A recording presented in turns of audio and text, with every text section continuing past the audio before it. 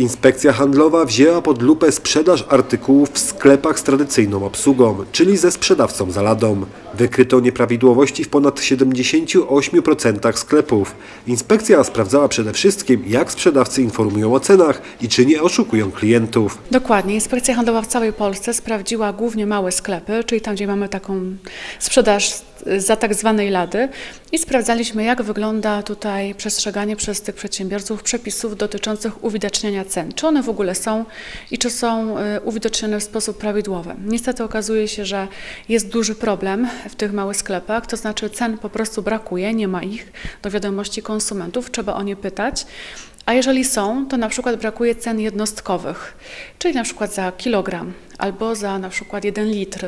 Ceny jednostkowe są wymagane wtedy, kiedy mamy na przykład towar paczkowany o zmiennej masie e, i chodzi o to, żeby było jakieś odniesienie e, na przykład do kilograma czy na przykład do 100 gram, żeby klient mógł sobie porównać e, mniej więcej ile by właśnie za, za taki kilogram zapłacił, albo na przykład mógł porównać, czy towar, który mm, na przykład stoi obok, jest powiedzmy z tego samego asortymentu, na przykład może być tańszy.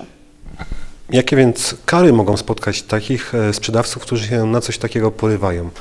No przede wszystkim, jeżeli stwierdzamy brak cen, czy brak cen jednostkowych, albo te ceny na przykład są, e, są co prawda uwidocznione, ale w taki sposób niejednoznaczny, na przykład przy towarze są dwie ceny i klient tak naprawdę nie wie w końcu, która cena jest e, ważna, e, prawidłowa, no to wówczas inspekcja handlowa wszczyna postępowanie administracyjne, które kończy się karą pieniężną dla takiego przedsiębiorcy.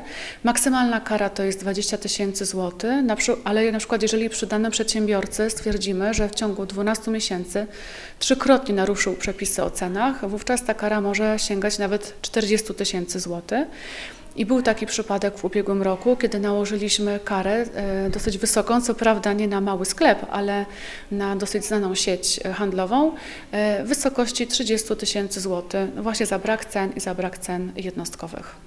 Sklepy z tradycyjną obsługą mają największy problem z podawaniem informacji o cenach. Powinny je umieszczać na wywieszce lub na towarze, ale i tak tradycyjne sklepy wypadły lepiej od samoobsługowych pod względem rzetelności. Było w nich o połowę mniej nieprawidłowości, takich jak inna cena na półce, a inna przy kasie, oszustwa na wadze czy doliczanie na paragonie rzeczy, których klient nie kupił.